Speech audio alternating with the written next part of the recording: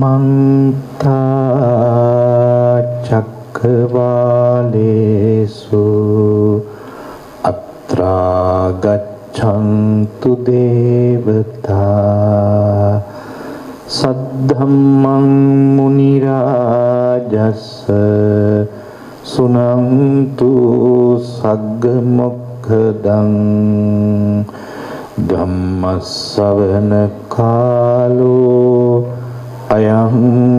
බදන්තා යථාර්ථය කියන එක හැමතිස්සෙම කාටත් පොදු දෙයක්. දැන් බුදුරජාණන් වහන්සේ මේ දේශනා කරපු දෙය ආගමක් නෙවෙයි.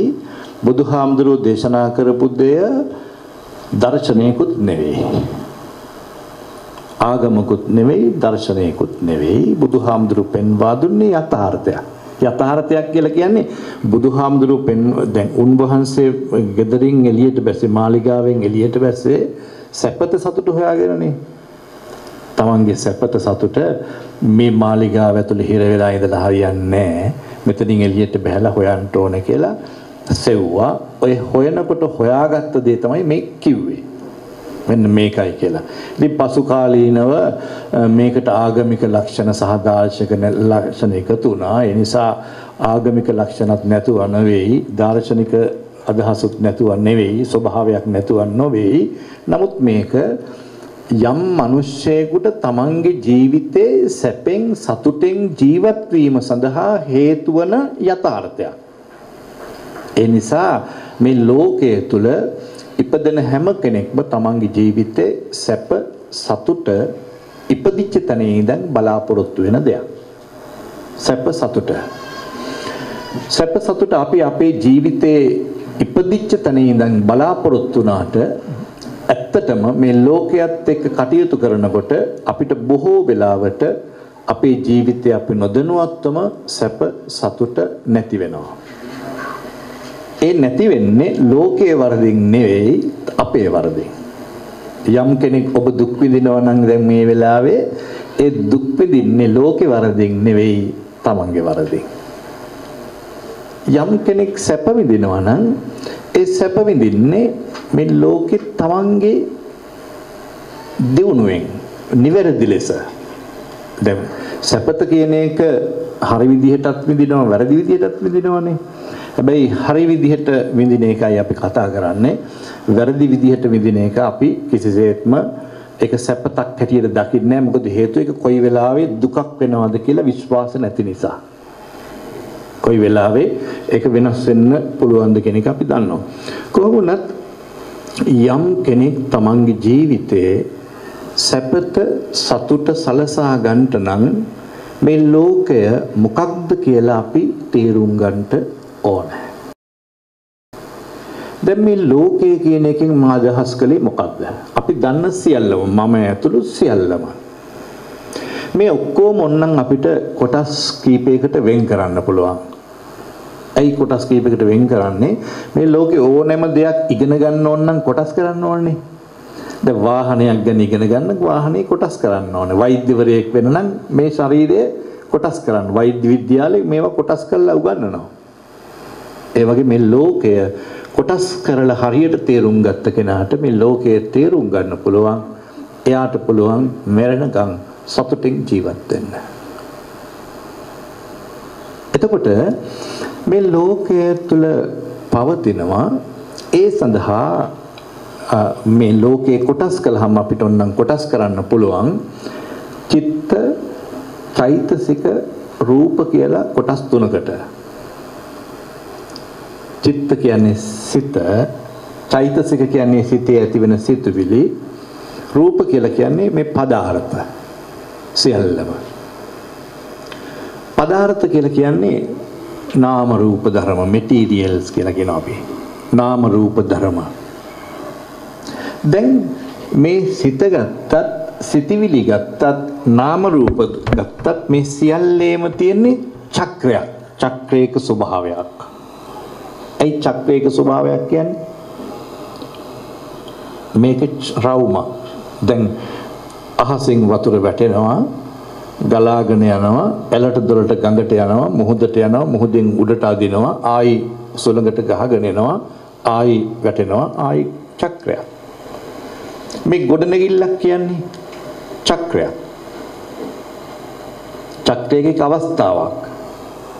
දැන් මහ පොළවේ තියෙන ඒවා එකතු කරලා මේක මේ විදිහට සකස් කරපු නිසා මේකට අපි ගොඩනැගිල්ලක් කියනවා. හැබැයි කවදා හරි දවසකදී මේක ආපහු යන්නේ මහ පොළොවට චක්‍රයක්. තමන් මම කියලා කියන්නේ චක්‍රයක අවස්ථාවක්. අම්මගේ කුසේ තාත්තගේ ලෙයින් හටගත්තා. ඉපදුනා මේ ලෝකයේ තුල ගොඩ නැගුණා.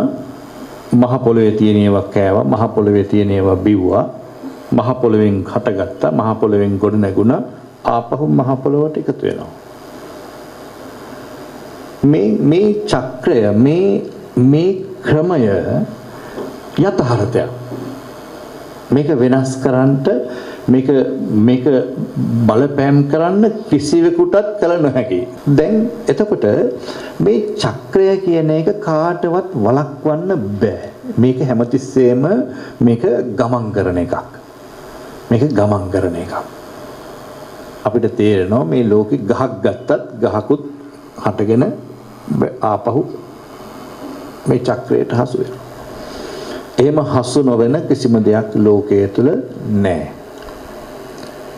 දැන් සිත ගත්තොත් එහෙම ඒ සිත පිළිබඳව තියෙන විග්‍රහයත් ටිකක් තේරුම් ගන්න අමාරු වෙන්න පුළුවන් සමහර අයට. හැබැයි එතන තියෙන්නේ චක්‍රයක්.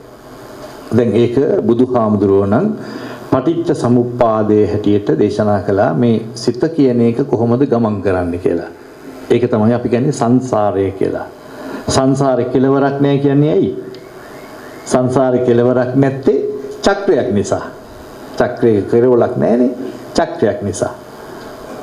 එතකොට මේ චක්‍රයක් හැටියට ගමන් කරන ලෝකය තුල කිසිම දෙයක් ස්ථාවරව කිසිම දෙයක් ස්ථාවරව තමන් බලාපොරොත්තු වෙන විදිහටම රැඳෙන්නේ නැහැ.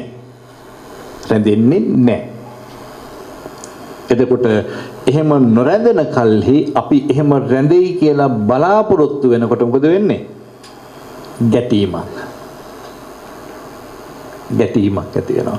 චක්‍රයක් ගමන් කරන දේ අල්ලා ගන්න උත්සාහ කරනකොට එහෙත් ඒක ගමන් කරනවා නම් ගැටෙනවනේ.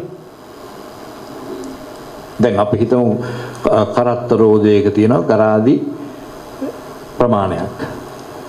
මේ එක ගරාදියක් අපි බදාගත්තොත් මේ රෝදේ ගමන් කරනකොට අපි ගැටිලා, තැලිලා, තුවාල වෙලා අපි විනාශ වෙනවා. ඒ වගේ මේ ලෝකය තුළ මේ ලෝකයේ තුළ තියෙන ඕනෑම දෙයක් සුන්දර වුවත් අසුන්දර වුවත්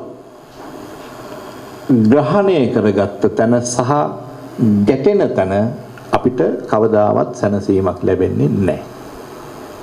ඒ නිසා අපි හැමතිස්සෙම මේ චක්‍රය තුළ මේ ගමන් කිරීම දැකලා ඒ හැම දෙයක්ම අවබෝධ කරගෙන උපාදාන රහිතව උපාදාන රහිතව එය විද්දනය කිරීමයි විදීමයි අපි කළ යුතු වන්නේ. එහෙම වෙච්ච තැන අපිට අපේ ජීවිතේ කවදාවත් ගැටීමක් නැහැ. දැන් බුදුරජාණන් වහන්සේ දේශනා කළා ඒ සඳහා අපිට ඊටාම වැදගත් වෙන ඒ සඳහා අපට ඊටාම ප්‍රායෝගිකව අවශ්‍ය කරන ගුණය තමයි සිතෙහි එක්තෙන් භාවය. සිතෙහි එක්තෙන් භාවය. ඒක ධර්මානුකූල වචනෙන් කියනවා නම් ඒකට කියනවා සතිපට්ඨානය කියලා. සතිපට්ඨාන සිහිය පිහිටුවා ගැනීම. සිතෙහි එක්තෙන් බව. දැන් ස්වභාවයෙන්ම අපේ හිත දුර ගමන් කරනවා ස්වභාවයෙන්ම අපේ සිත ගැටෙනවා අපේ සිත ස්වභාවයෙන්ම අපට පාලනය කරගත නොහැකි එකක් සිත කියලා කියන්නේ අපි හැම දිනාටම හිතක් තියෙනවා මේ හිත වේගෙන් දුර ගමන් කරනවා දැන් මේ හිතේ මේ හිත වේගෙන් ගමන් කරන මේ ප්‍රමාණය කොච්චරද කියලා වේගය මනින්න ඕන නම් අපිට පුළුවන් මේ වෙලාවේ ඔබ හිතන්න කිසියම් ඔබ ගිය රටක් පිළිබඳව ඔබ ඉතාලියට ගිහිල්ලා එන්න ගියොත් කොච්චර වෙලාවක් යනවද? ඒ හිතින් කොච්චර ඉක්මනින් ගිහිල්ලා එන්න පුළුවන්ද? දැන් එතකොට මේ වේගවත් භාවයත් සමග මේ වේගවත් භාවයෙන් තේරුම් ගන්න පුළුවන් ඒ වේගවත් භාවයත් සමග අපට අපේ ජීවිතයේ ඇති වෙනවා කිසියම් අනතුරුදායක බවක්. සිතේ වේගය වැඩි වෙන්න වැඩි වෙන්න ඇති වෙන ඕනෑම දෙයක වේගය වැඩි වෙනකොට ප්‍රශ්න ගැටලු මතුවෙනවා. ඒක තමයි ස්වභාවය. අපේ හිත වේගවත් වෙන්න වෙන්න අපිට ගැටලු වැඩි. ඇයි එකක් තමයි වේගයේ වැඩි වෙනකොට අනතුරුදායක බවක් තියෙනවා. ඒක ලෝක ධර්මතාවයක්. දැන් මේ මම අන්තිමට කියන්න හදන්නේ මේ ලෝකේ මේ ස්වභාවය තේරුම් ගත්තාම අපිට ඇත්තටම මේ ලෝකය තුල අපිට දුක් වෙන්න කියලා කනගාටු වෙන්න කියලා තැවෙන්න කියලා පසුතැවෙන්න කියලා කාත් එක්කවත් අමනාප වෙන්න කියලා රණ්ඩු වෙන්න කියලා කිසිම දෙයක් ලෝකෙ නැහැ. ඇත්තටම මේ ලෝකය තුල ගැටෙන්න ගැටෙන්න අපිටයි අපහසුතාවය ඇති වෙන්නේ. හැබැයි අපි ගැටෙන්නේ මේ ලෝකයේ පිළිබඳව සැබෑ අවබෝධය දැනුම නැති නිසා. ඒක නිසා මම මේ කියන්න හදන්නේ මේ ලෝකය තුල පවතින මේ චක්‍රයක් හැටියට යන නාම රූප ධර්ම සමූහයක් තියෙන්නේ මේකේ අල්ලගෙන දඟලන්න දෙයක්වත් නැහැ බදාගෙන දඟලන්න දෙයක්වත් නැහැ උපාදාන කරගෙන ඉන්න දෙයක්වත් නැහැ ගැටෙන්න දෙයක්වත් නැහැ මේ ලෝකේ ගැටෙන අය ඕන තරම් ඉන්නවා. අපි අපි ගැටෙනවා නම් ගැටෙන්න එන අය ලෝකේ නිමාවක් නැහැ. ඉවරයක් නැහැ. හැබැයි ගැටිලා ඉවර කරන්න බෑ. ඉවර වෙන්නේ අපේ ආයුෂ විතරයි. අවසන් වෙන්නේ අපේ පිරිසිදු හිත විතරයි. ඒ නිසා මේ ලෝකය තුල එහෙම ගැටෙන්න දෙයක් නැහැ. අපි හැමතිස්සෙම නොගැටී වාසය කරන්න ඕනේ. ඒ නොගැටී වාසය කරන එක්කෙනාට තමයි සිහිය සතිය පිහිටුවා ගන්න පුළුවන්. සතිය පිහිටුවා ගන්න එක්කෙනාට තමයි තමන්ගේ ජීවිතේ සැප සතුට කියන එක නිවැරදිව ලබා ගන්න පුළුවන්. අපේ ජීවිතේ අපිට ලබන්න පුළුවන් සැප දෙකක් තියෙනවා. පළවෙනි සැපත තමයි සම්මුති සැපත. එහෙම නැත්නම් අපි එකට කියනවා ලෞකික සැප කියලා. ලෞකික සැප දැන් මිනිසියෙකුට තමන්ගේ ජීවිතේ ලෞකික සැපත සම්මුති සැපත අවශ්‍යයි. ඊළඟට තියෙන ප්‍රශ්නේ තමයි ඒක හැමදාම ස්ථාවරව ස්ථිරව පවතින්නේ නැහැ. ඒක තමයි ඒක ලෝකේ යථාර්ථය කාගේවත් වරදක් නෙවෙයි. ඒක ලෝකේ හැටි. හේතු ප්‍රත්‍යෙන්නේ ලෝකේ ඇදිලා තියෙන චක්‍රයක්නේ. මේ චක්‍රේ ගමන් කරන්න ඕනේ. අපි gedara නතර වෙන්න හිතුවට නතර වෙන්න බෑ. චක්‍රේ යනවා. ඒ නිසා ඒ ධර්මතාවයට අනුව එතුමා ගියා. එතුමාගේ කාර්යය කළා එතුමා ගියා. ඒ නිසා අපි එතුමා ගැන අප්‍රමාණ සතුටු වෙනවා. හැබැයි දැන් අපි එතනින් පාඩමක් ගන්න ඕනේ. මොකද්ද? මේක අපිට අපේ හදවතට දුකක් වේදනාවක්. හැබැයි තප්පරයකටවත් මගේ දුවේ මේ ලෝකේ කිසිම සැපතක් දුකක් බවට පත්වෙන්න ඕනේ නැහැ. එහෙම වෙන්නේ අපේ මනස නොදියුණු කමින්. අපි නොදන්න කමින්. දැන් අපි එකට උදාහරණයක් ගමුකෝ මරණය. දැන් මරණය කියන එක ඔය ඇත්තන්ට හිතනවා නේ කොච්චර අසුභ කොච්චර නීරස දෙයක්ද කියලා මරණය. හැබැයි ඇත්තටම මරණයේද මේ දුක තියෙන්නේ? මරණය තුලද මේ දුක තියෙන්නේ? නැහැ. මරණය තුල නෙවෙයි. ඇයි එහෙම කියන්නේ?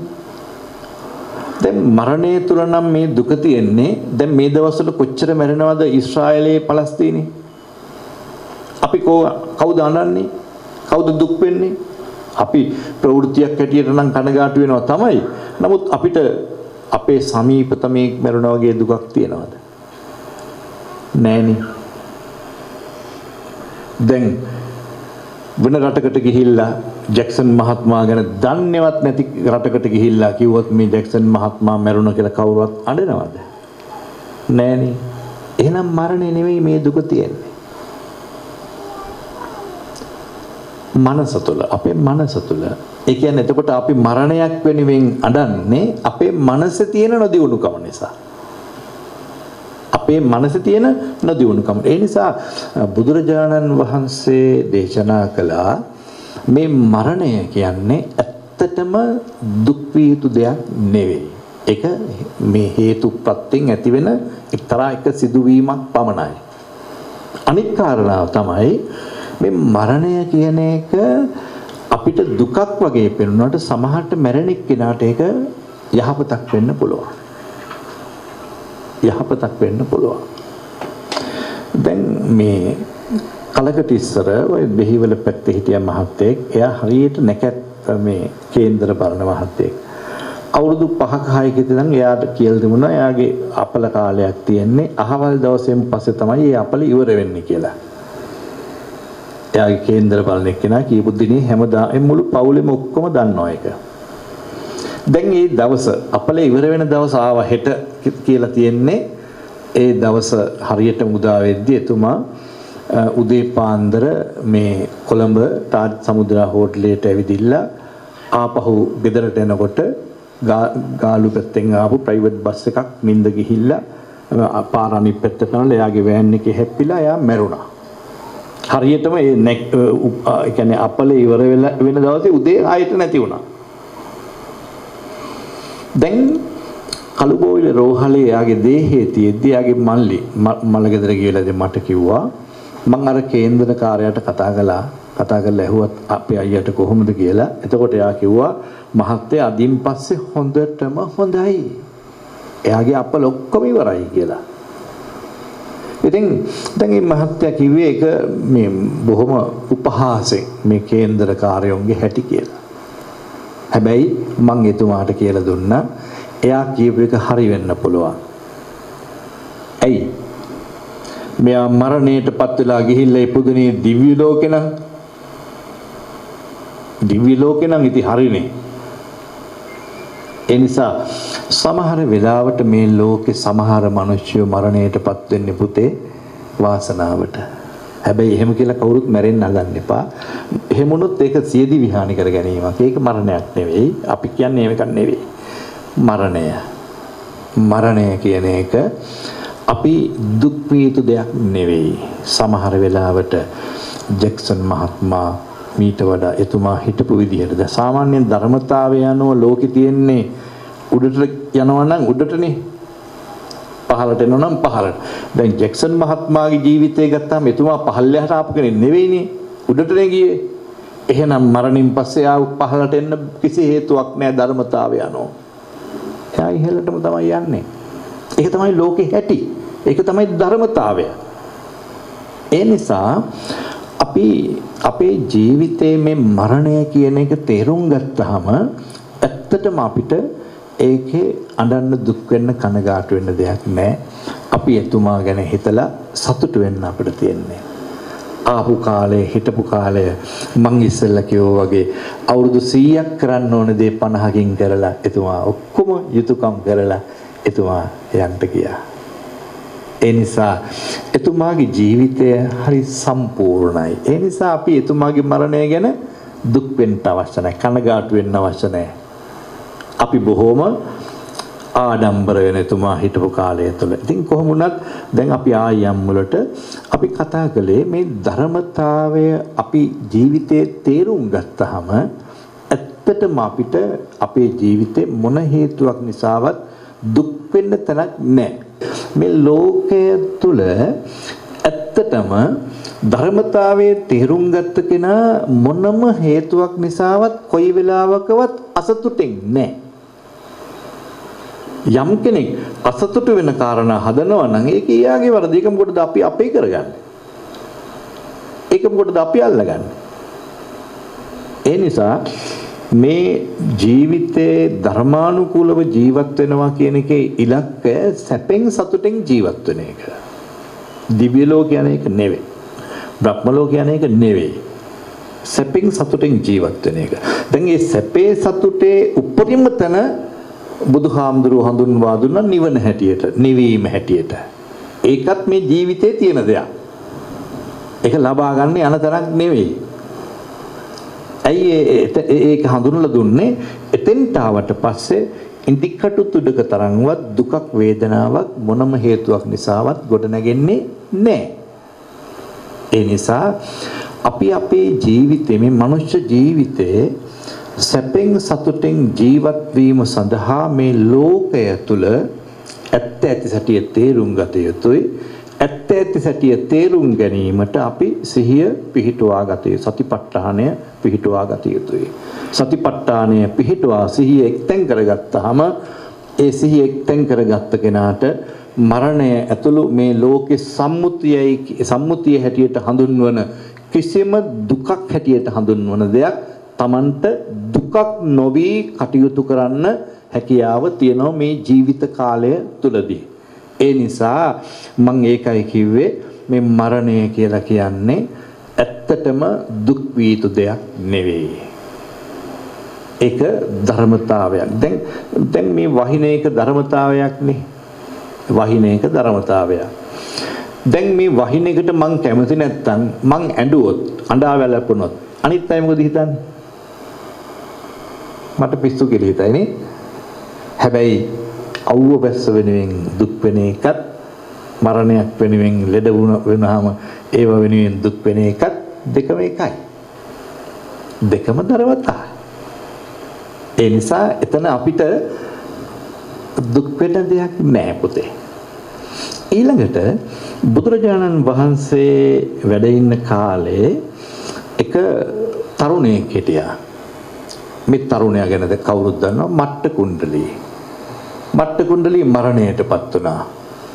මට්ට කුණ්ඩලී මරණයටපත් වුණාට පස්සේ මරුණට පස්සේ තමයි දැන් සමහර අයට ගොඩාක් මිනිස්සුන්ගේ අගේ වටිනාකම දැනෙන්නේ මරුණාමනේ. ඒකනේ ලෝකේ ස්වභාවය. මරුණහම තමයි අගේ දැනෙන්නේ. ඒක ඒක හැටි. ඒක එක්කෙනෙකුට දෙන්නෙකුට නෙවෙයි. සෑම දෙන අතීතේ ඉඳන් ඒකේ ස්වභාවය එහෙම තමයි. උදාහරණයක් ගත්තොත් දෙවියන් වහන්සේගේ පුත්‍රයා ජේසුස් වහන්සේට එන ගහනකම් නැති වෙනකම් ඔක්කොම විරුද්ධව හිටියේ. නැති වුණාට පස්සේ තමයි ඔක්කොම අඬා වැළපෙමින් අදහන්න පටන් ගත්තේ. ඉතින් ඒක තමයි ලෝකෙ හැටි. ලෝක ස්වභාවය. ඒක එදත් එහෙමයි අදත් එහෙමයි. ඉතින් දැන් මේ මට්ට කුණ්ඩලිය මරුණාට පස්සේ මට්ට කුණ්ඩලියගේ තාත්තා හැමදාම සොහනට ගිහිල්ලා අඬා වැළපෙනවා. මට්ට කුණ්ඩලී දිව්‍ය ලෝකේ ඉපදුනා. එයා බැලුවා මම මොන වගේ පිනක් කරලාද දිව්‍ය ලෝකේ ඉපදුනේ කියලා බලනකොට තාත්තා තවමත් සොහන ගාඬනවා. එයා පොඩි ළමයේ ගවේෂයක්ම වාගෙන මනුෂ්‍ය ලෝකෙට ආවා. ඇවිදින්න අර තාත්තා අඬන සොහනෙම අනිත් පැත්තෙන් වාඩි වෙලා අඬන්න පටන් ගත්තා. එතකොට මේ අඳින්න පොබ්බක බ්‍රාහ්මණයා තාත්තා අහනවා ඇයි ළමයෝ ඔයා මෙතන අඬන්නේ කියලා. එතකොට කියනවා මම කරත්තයක් හැදුවා මට ඒ හදාගත්ත කරත්තෙට රෝද දෙකක් නැහැ. ඒක නිසා මම මේ අඬන්නේ කියලා. ඉතින් කියනවා අනේ ළමයෝ ඔය ළමයා තරම් මෝඩ ළමයෙක් තවත් නැහැ ලෝකේ. මේ කරත්තයක් හදාගත්ත එක්කෙනාට ඇයි රෝද දෙකක් හදන්න බැරි? රෝද දෙකක් හදාගන්න බැරි? ඉතින් ඒ ගමන කියනවා නෑ මේ මම රෝද දෙක හැටියට හිතාගෙන ඉන්නේ ඉරයි හඳයි සවි කරන්න කරත්තෙට. එතකොට මේ තාත්තා කියන ඔය ළමයා තරම් මෝඩ ළමයෙක් මුළු ලෝකෙම නැති වෙති. ඉරයි හඳයි පුළුවන්ද මේ කරත්තෙකට හයි කරන්න? එහෙනම් ඔයා අඬන්නේ ඇයි? ඉතින් එයා අඬන කියන මගේ පුතා මැරුණා. ඒ ගමන මේ ළමයා අහනවා මමද මෝඩ ඔබද මෝඩ මම අඬන්නේ ඊට හඳ ලබා ගන්න එක පේනවා අඩු ගානේ පේනවා ඔබ අඬන්නේ පේන්නේවත් නැති පුතෙක් ගැන කියලා. මැරිච්ච කෙනෙක් ගැන කියලා. ඒ නිසා මේ පොඩි ළමයා කිව්වේ මොකද්ද? මැරිච්ච කෙනෙක් වෙනුවෙන් අඬන එක දුක් වෙන එක ඉරහඳ ඉල්ලලා අඬනවට වඩා මෝඩ වැඩක් කියලා. බුදුහාමුදුරුවෝ සතිපට්ඨාන සූත්‍රය දේශනා කරන අවිද්‍යා දෝමනස්ස දුම්නස් සහිත මේ ලෝකේ ගැන දුක් වෙන්න එපා. මේ ලෝකේ ගැන දුක් වෙන්නේ නොදියුණුකම තියෙන කෙනා. ඒ නිසා අපි හැම කෙනෙක්ම සතුටෙන් කටයුතු කරන්න ඕනෑ කියන එකයි අදහස් කරන්නේ. ඉතින් ඒක නිසා අපි තේරුම් ගන්නට ඕනෑ මේ ජීවත් වන කාලය තුළ සිහිය සතිපට්ඨානය පිහිටුවා ගන්න. සිහිය පිහිටුවා ගන්න. සිහිය පිහිටුවා ගන්න කෙනාට තමන්ගේ ජීවිතේ ලැබෙන ලාභ කීපයක් තියෙනවා. එකක් තමයි සිහිය පිහිටුවාගත් එක්කෙනාට තමන්ගේ ජීවිතේ අතිපිරිසිදු කෙනෙක් වෙන්න පුළුවන්. අතිපිරිසිදු කියන්නේ ඊටාම පිරිසිදු පුජ්‍යලයක්. පිරිසිදුකම කියන එක කරුණු දෙකකින් ගන්න පුළුවන්. දෙපැත්තකින්. එකක් තමයි බාහිර පිරිසිදු භාවය අනිත් එක තමයි ආධ්‍යාත්මික පිරිසිදු භාවය. ඇති කරගන්න පුළුවන් සිහියෙන් වැඩ කරන කෙනාට. ඊළඟට අපි දන්නවා ලෝකයේ තුල අපි ජීවත් වෙනකොට ස්වභාවයෙන්ම අපට තියෙනවා දුක්ඛ දෝමනස්සානං දුක් දොම්නස් දුක් වියුතු දේවල් තියෙනවා. දැන් ඔබලාට පමණක් නෙමෙයි මට පමණක් නෙමෙයි මේ ලෝකයේ තුල ඇත්ත වශයෙන්ම මේ වෙලාවේ ජීවිතේ දුක් විඳින අය කොච්චර ඉන්නවද? අපි අපේ ජීවිතය ගැන හිතුවාම කාටද දුක් නොවන දේවල් තියෙන්නේ? හැමදාම හැම කෙනාටම සැපදායක සතුටුදායකම දේ තියනවද? එලිසබෙත් මහරජනගේ කතාව කියවලා බලන්න. එතුමිය තමන්ගේ ජීවිතේ කොච්චර දුක් විඳලාද කියලා. එතුමියම කියපු කතාව එතුමියගේ ජීවිත කතාවේ තියෙනවා. ඉතින් ඒ නිසා මේ ලෝකය තුල අපි මොනතරම් සැපත සතුට ඇති කරගන්න උත්සාහ කළත් ස්වභාවයෙන් අපිට ඇති වෙන්නේ හැමතිස්සෙම දුක. ඒක නිසා සිහිය පිහිටුවාගත් එක්ක සතිපට්ඨානය පිහිටුවාගත්ත කෙනාට තමන්ගේ ජීවිතේ ස්ථාවරවම ස්ථීරවම පුළුවන් දුක්ඛ දෝමනස්සානං අත්ංගමයි දුක් දොමනස් නැති කරගන්න පුළුවන්. ඊළඟට ශෝක පරිද්දවානං සමතික්කමයි. ශෝක පරිදේව. දැන් මනසින් දුක් විඳිනවා වගේ. දැන් සමහර අය කියන අනේ මට තවත් දුක් විඳින්න බෑ. මෙහෙම දුක් විඳ විඳ යන්න බෑ. එහෙම කිය කිය අපි කියන්නේ. ඉතින් ඒ වගේම මං විඳපු දුකක් කිය කිය තමන්ගේ මනසින් කොච්චර තමන් සුසුම් හෙලනවද අනේ අපෝ එක කිය සිතින් කියනවනේ. ඒ ස්වභාවය ඇති වෙන්නේ තමන් සතිපට්ඨානය සිහියෙන් යුතුව වාසය කරනවා නම්.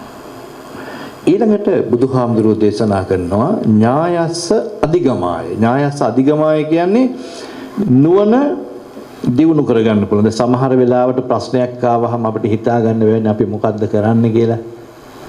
අනේ මට හිතා ගන්න බෑ මොකද්ද කරන්නේ. එහෙම නැත්නම් අපරාධේ මං එහෙම කිව්වේ. අපරාධේ මං එහෙම කළේ. මට මෙහෙම කරන්න තිබුණා. එහෙම හිතනවනේ අපි. හැබැයි සිහියෙන් වාසය කරන එක්කිනාට එහෙම ප්‍රශ්නයක් ඇති වෙන්නේ නැහැ. ඥාය සදිකමාය. ඊළඟට නිබ්බානස සත්‍ය ක්‍රියාය ස්වභාවයෙන්ම සත්‍ය වශයෙන්ම අපට නිවන් සුවය කියලා කියන්නේ අපිට අපේ ජීවිත කාලය තුළ මතු කරගන්න ක්‍රමවේදයක් සැපතක්. ඒක මැරිලා ලබා ගන්න දෙයක් නෙවෙයි අපේ ජීවිතය තුළ ලබා ගන්න සැපතක්. ඒ නිසා ඒ නිවන් සුවය දක්වාම අපේ ජීවිතයේ ඒ මනස ජීවිතයේ සැපවත්ව පවත්වාගෙන යන්න පුළුවන් සතිපට්ඨානය පිහිටුවා ගත්තොත්. මේ ලෝකේ කවදාවත් ගැටෙන කෙනාට දුම්නස් සහිතව කටයුතු කරන කෙනාට තමන්ගේ ජීවිතේ මොන වෘත්තියකින්වත් මොන පැත්තකින්වත් තමන්ගේ ජීවිතේ ජය ගන්න බෑ පුතේ. ඒ නිසා අපි හැමතිස්සෙම මේ ලෝකය තුල අපි කැමති දේවල් වගේම අකමැති දේවලුත් සිද්ධ වෙනවා. ඒක ධර්මතාවයක්. ඒක මේ චක්‍රයේ හැටි. ඒක ස්වභාවයක්. ඒ නිසා මේ ලෝකයේ තුල අපි මේ ජීවත් වෙන සල්ප කාලය තුලදී අපි සිහියෙන් යුතුව වාසය කරන්න ඕනේ කුමක් සඳහාද අපගේ සැපත සඳහා අපගේ සුවය සඳහා තමන්ගේ සුවය සැපත ඇති කරගන්නකොට හැමතිස්සෙම අනුන්ගේ සැපත මතුවෙනවා. හැමතිස්සෙම ලෝකයේ තුල අනිත් අයව දුකටපත් කරන්නේ තමන් සැපවත් නැති වුනහමනේ. තමන්ව දැන් දැන් පොළඟා කියන සතා අපි දන්නවනේ. ඇයි පොළඟා පැන පැන හපාගන්නේ? එයාට තියෙන බය නිසානේ. එයාගේ තියෙන ගණන්කාරකමක් නෙවෙයි. එයාට තියෙන බය නිසා. මේ ලෝකේ හැමතිස්සෙම ඕනෑම සතෙක් අපිට ඇටැක් කරන්නේ අපිට බාධා කරන්නේ එයා බය නිසා. ඒ නිසා මේ ලෝකයේ තුල යම් කෙනෙක් අපිට බනිනවා නම් අපිට දොස් කියනවා නම් අපිට නොඑක් ප්‍රශ්න ඇති කරනවා නම් ඒ ඔක්කොම අපේ වරද නෙවෙයි. ඒ කෙනාගේ තියෙන වරද නිසා, අඩුව නිසා. ඒක නිසා අපි හැමතිස්සෙම මේ ලෝකය තුල සිහියෙන් වාසය කරනකොට සිහියෙන් යුතුව කටයුතු කරනකොට අපිට කාත් එක්කවත් ගැටෙන්න අවස්ථාවක් එන්නේ නැහැ. හැබැයි ගැටෙන්න ගියොත් එහෙම ඇලෙන්න ගියොත් එහෙම අපි දන්නේම නැතුව අපේ ආයුෂ කාලය අවසන් වෙන බුදුරජාණන් වහන්සේ දේශනා කරනවා. එතකොට එයා ගැටි ගැටි ඇලි ඇලි රණ්ඩු වෙවි වාසය කරලා එයාගේ ජීවිතයේ ආයුෂ කාලය නිකම්ම ගෙවිලා යනවා. එයාට එයාගේ ජීවිතේ කිසිවක් යහපතට සැපතට ගොඩනගා ගන්න බැරි වෙනවා කියලා. බුදුහාමුදුරු ඉන්න කාලේ හිටියා කෝක කියලා සුනක වැද්දෙක්. සුනක වැද්දෙක් කියලා කියන්නේ එයා මේ එයා දඩයක්කාරයෙක්. එයා වැද්දෙක් හැටියට කියන්නේ එයා කැලේ තමයි වාසය කරන්නේ. එයා බල්ලෝ උපයෝග කරගෙන තමයි මේ දඩයන් කරන්නේ. ඉතින් එයාගේ නම කෝක. දැන් මේ කෝක කියන සුනක වැද්දා ගොඩාක් ප්‍රසිද්ධ වුණේ එක අවස්ථාවකදී එයා මේ සත්තු අල්ලන්න කැලේට යන්න පිටත් වෙනකොටම ඉස්සරහට හාමුදුරු කෙනෙක් හම්බුණා. එයාට කේන්ති ආවම මේ හාමුදුරුව හම්බුණා ඉස්සරහට දැන් සතෙක්වත් අහුවෙන්නේ නැති වෙයි කියලා. ඇත්තටම අහුුනේ නැහැ. අන්තිමට කේන්තියෙන් ආපහු වෙනකොට හාමුදුරුව ආපහු වෙනවා කරුමෙට මේ ඉස්සරහට අර බල්ලෝ ටික ලිහලා උසි ගන්නවා. හාමුදුරුව මොකද කළේ? පාත්‍රය අතෑරලා දුවලා ගිහලා ගහකට නැග්ගා. ජීවිතේ බේරගන්න. දැන් මේ මෙයාට තවත් කේන්ති. දැන් යම් කෙනෙකුට දැන් තමන් බලාපොරොත්තු වන ඒ දේ කරගන්න බෑ තව තරහ එනවනේ. දැන් ওই අජාසත්තට උනේත් ඒකනේ. ඒ තාත්තා නැති වෙන්න නැති වෙන්න ඉන්න ඉන්න තව තරහ ඇති වුණා.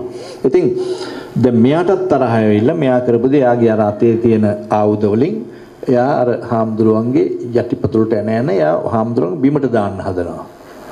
ඉතින් හාමුදුරුව උඩ අත්ෙල්ලිලා දඟලනකොට මේ චීවරය ගැලවිලා වැටුණා. අර සත්තු හිතුවා මේ උඩ හිටපු කෙනා වැටුණා කියලා. ඇත්තටම මේ අර මේ කෝක නම් සුනක වැද්දාගේ ඇඟට වැටුනේ මේ සිවුර. ඉතින් අන්තිමට මේ මිනිහව අර බල්ලෝ මැරුවා. සිවුරෙන් වැහිලා තිබිච්ච මේ මිනිස්යාව මරණයට පත් කළා. දැන් දැන් මම මේ කියන්න හදන්නේ ඒ ඒ කෝක කියන වැද්දා දඩයක්කාරයා කිසිම ගුණයක් නැති කෙනෙක්. කිසිම දහමක් නැති කෙනෙක්. කිසිම කරුණාවක් නැති කෙනෙක්. කිසිම කරුණ පවුපින් විශ්වාසයක් නැති කෙනෙක්. හැබැයි එයා විවාහ වෙලා හිටියේ සෝවාන් ඵලයටපත් වෙච්ච අම්මා කෙනෙක්. නෝනා කෙනෙක්. සෝවාන් ඵලය කියලා කියන්නේ මේ සැප සතුට ලබන මාර්ගය තුළ ඒක මේ සරලව පෙන්වුවොත් එහෙම මේ දැන් අපේ ජීවිතයේ අවශ්‍යතා ඉටු කරගෙන ඊළඟට යුතුයකම් සහ වගකීම් ඉෂ්ට කරලා ඊළඟට සතිපට්ඨානය මේ පතිරූප දේශ වාසයේ ගොඩනගාගෙන සතිපට්ඨානය ගොඩනගාගත්තාම විදර්ශනාවට යන්න පුළුවන්. විදර්ශනා ගැන ඇත්ත ඇති සැටිය දැකීම ඒ විදර්ශනාවේ පළවෙනි දියුණුවේ ලක්ෂණය තමයි සෝවාන් ඵලය කියන්නේ. ඒ කියන්නේ සෝවාන් ඵලයටපත් වුනහම මගේ මාගේ කියලා කිසි දෙයක් උපාදාන කරගන්නේ සම් ස්ථිර වශයෙන්ම. උපාදාන කර ගැනීමක් නැහැ. ඊළඟට තමන්ට මේ ලෝකයේ තුල සැපත සතුට සඳහා අවශ්‍ය කරන මාර්ගය පිළිබඳව චකිතයක් නැහැ. සැකයක් නෑ. යාට සැපත සඳහා ගැළපෙන දේ යාට තෝරගන්න පුළුවන්. විපත දුකක් ඇති වෙන දේ යාට තේරුම් ගන්න පුළුවන්. සෝවාන් ඵලයටපත් වෙච්ච කෙනාට. ඉතින් මෙවැනි සෝවාන් ඵලයටපත් වෙච්ච කාන්තාවක් තමයි විවාහ වෙලා හිටියේ මේ කෝකනම් සුනක වැද්දා. ඒක කර්ම විපාකයක් හැටියටයි ඒ වගේ කෙනෙකුට විවාහ වෙලා වෙන්න සිද්ධ වුණේ අර සෝවාන් ඵලයටපත් වෙච්චාම. මේ දෙන්න අවුරුදු 18ක් දීග කෑවා. 18ක් ජීවත් වුණා. හැබැයි 18කින් අවසන් වුණේ අර මෙයාව මැරිච්ච නිසා.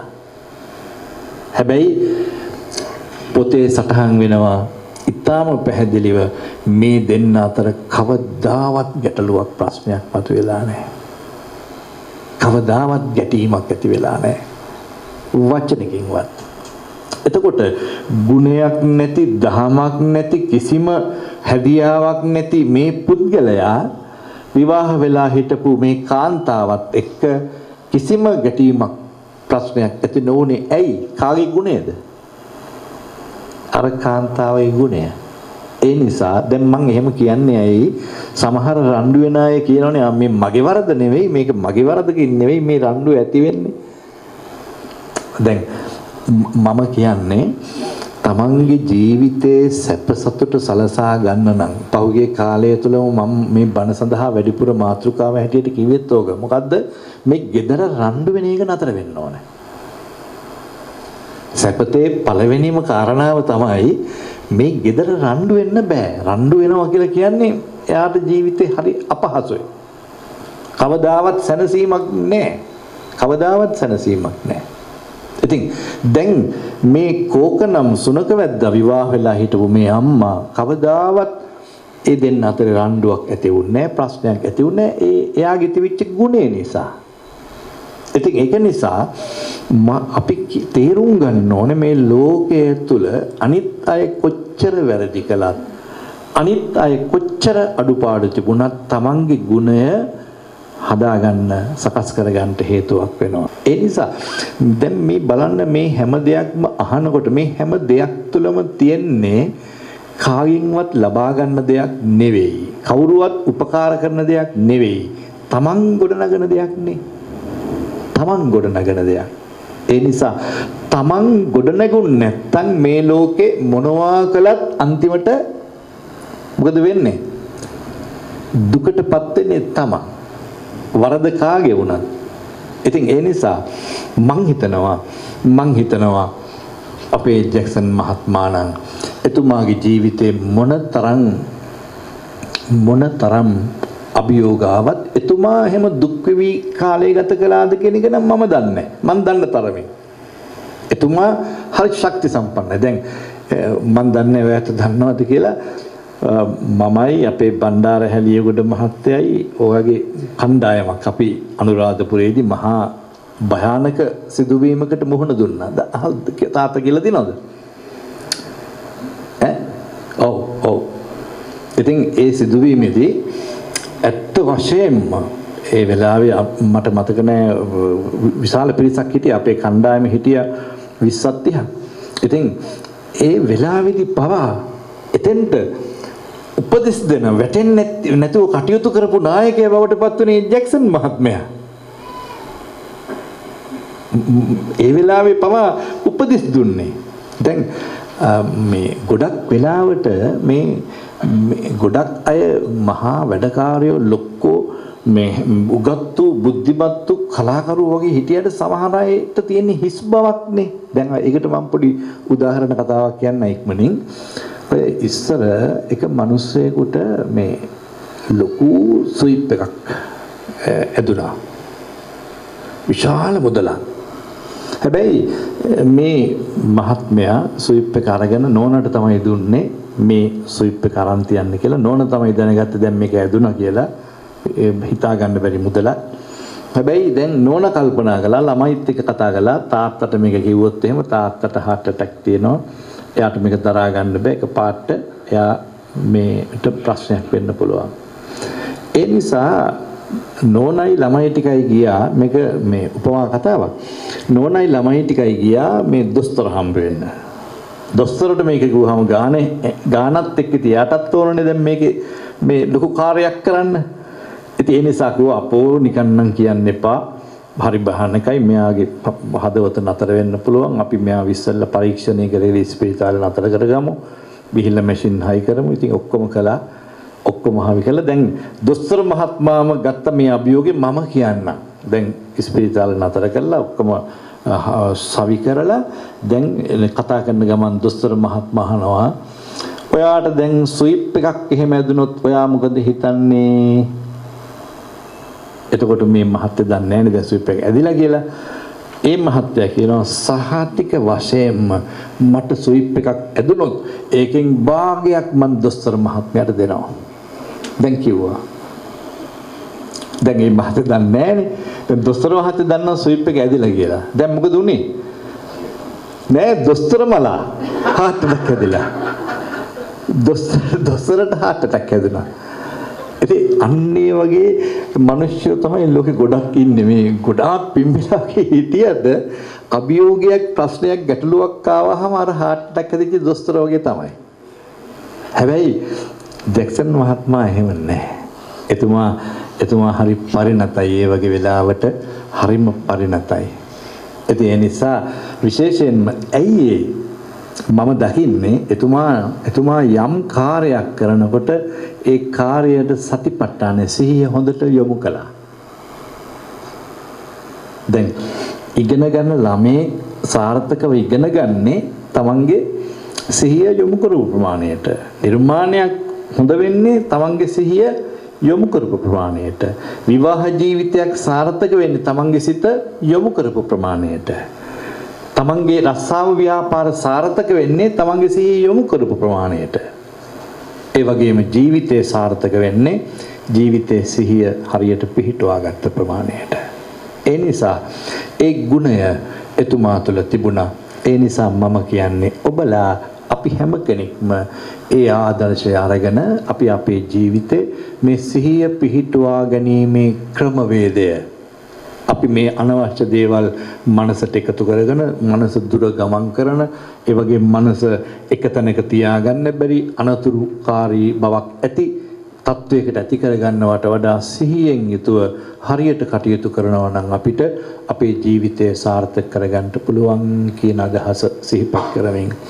ඇත්තටම අද ජැක්සන් ඇන්තනී මහත්මයා වෙනුවෙන් මම මගේ ජීවිතේ කවදාවත් හිතුවේ නෑ. මේ වගේ බණ කියන්න මෙච්චර ඉක්මනට සිද්ධ වෙයි කියලා. ඉතින් ඒක ධර්මතාවයක්. ඒක ස්වභාවයක්. ඒක ලෝකෙ හැටියක්. ඒක තමයි මේ ලෝකෙ චක්ති ස්වභාවය. ඉතින් ඒ යථාර්ථය අපි හැම දිනාටම